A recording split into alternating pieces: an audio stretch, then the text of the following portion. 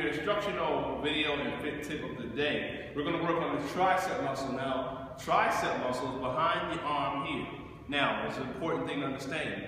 Your tricep muscle is actually three muscles. That's why I have the name tri in it, tricep.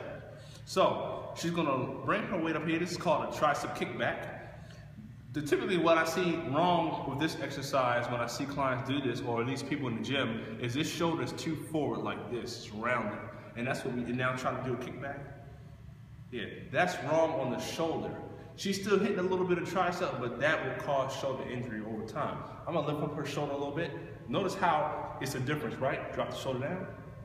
Great, and then lift the shoulder back up. And that's now in line with the elbow. Lift the elbow up. Great, and now straighten that arm. And if you notice, this arm is nice and straight in terms of the bones. The shoulder, the elbow, and the wrist. And now see how that tricep is quivering? That tricep is under good stress.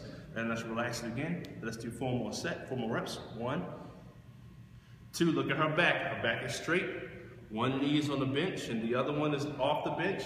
And then her arm is also straight on this side. Great job. And then as she held, holds that um, muscle contracts it. Let's bend that elbow again and just relaxing my arm for give you a break. This elbow is nice and level. The whole time when she's moving, she's not doing this. And then straight the arm. Straighten the arm for me. She's not doing that. Bring it down again. And coming down and then coming back up. She's keeping that elbow in one position, just like that. See, it doesn't move. And then straighten it. Great. Come back down. It doesn't move.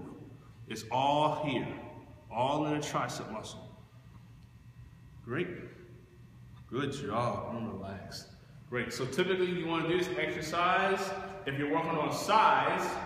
If you're a guy, you actually, you know, obviously pick a higher weight and you would do at least four to six reps.